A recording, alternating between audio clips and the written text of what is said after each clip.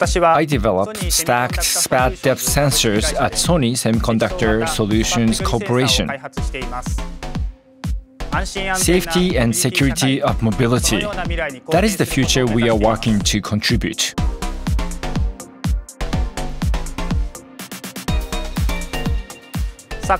Alongside sensing devices like cameras and millimeter wave radar, LiDAR is gaining importance as we work to make autonomous driving a reality.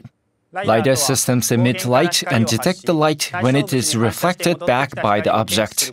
This helps to assess traffic conditions and identify the locations and shapes of objects such as vehicles and pedestrians. Key devices in LiDAR systems include the light source and the sensor that act like the human eyes.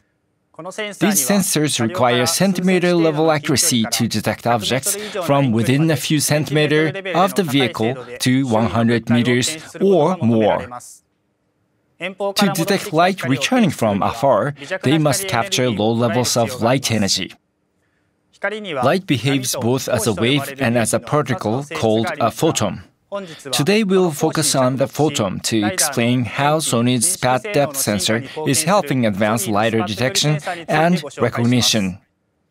Now, Mr. Akatsuka, my colleague, will explain how it works. Hello.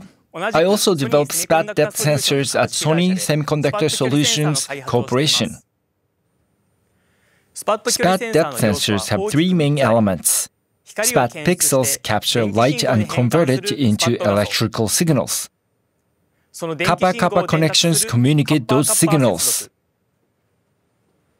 And logic chips contain circuits that derive distance measurement from the signals. First, let's look at light detection and conversion. CMOS image sensors also use electrical signals, which are electrons converted from photons. But the signal equivalent to a single photon can be overwhelmed by circuit noise, making it tough to detect each photon. With SPAD depth sensors, photons captured by SPAD pixels are converted into electrons. Then each is multiplied like an avalanche to create a strong electrical signal. This makes it possible to detect the low-level light energy of a single photon.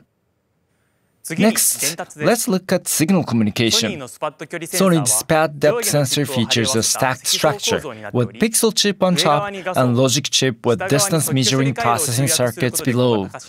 This keeps the structure compact while boosting signal processing.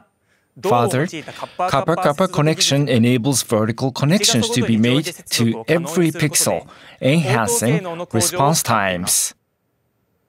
Finally, distance measuring. The distance to an object is measured by sensing the time taken for light emitted from the light source to reflect back from the object.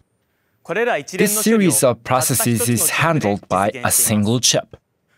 Our stack structure not only reduces chip size, but also enables high precision, high speed measuring from close to long range with a 15 centimeter range. Now, please watch this demonstration video of LiDAR working with Sony's SPAD depth sensors. We took images of Tokyo Station, Shibuya, and the expressway. These images were taken while driving near Tokyo Station. The LiDAR viewpoint is adjustable. In Shibuya, the image is so precise and clear that you can see the people in details. The system is detecting objects over 200 meters away and capturing every moment even when moving at high speeds. Since the 2000s, Sony has driven image sensor performance higher via back-illuminated, stack structure, and copper-copper connections.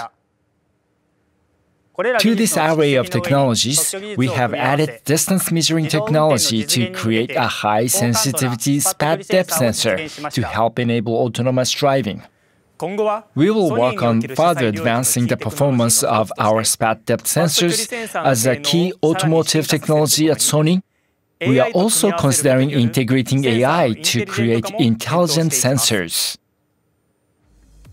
In addition to autonomous driving, we expect our technology to be used in various applications such as autonomous industrial machinery and drones. Thank you for your time.